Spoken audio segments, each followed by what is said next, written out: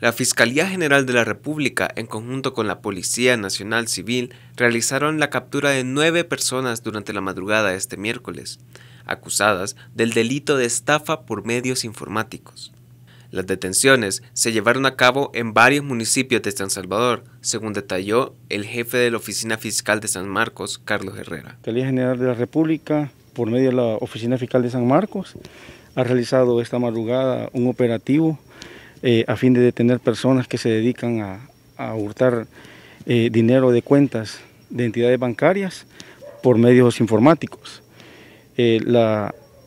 tal como nuestro fiscal general de la República ha instruido que tenemos que darle seguimiento y resolver aquellos casos en los cuales la población se ha visto perjudicada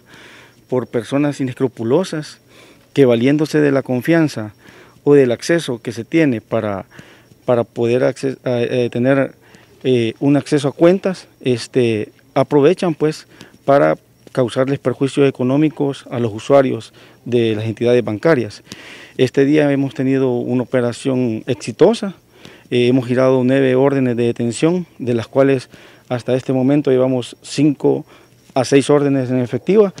El modo en que operan estas estructuras delincuenciales es enviando un correo aparentemente oficial desde las instituciones bancarias, por medio del cual solicitaban los datos de acceso a las cuentas en los bancos. El fiscal aseguró que serían llevados a los tribunales correspondientes para que enfrentaran las penas respectivas.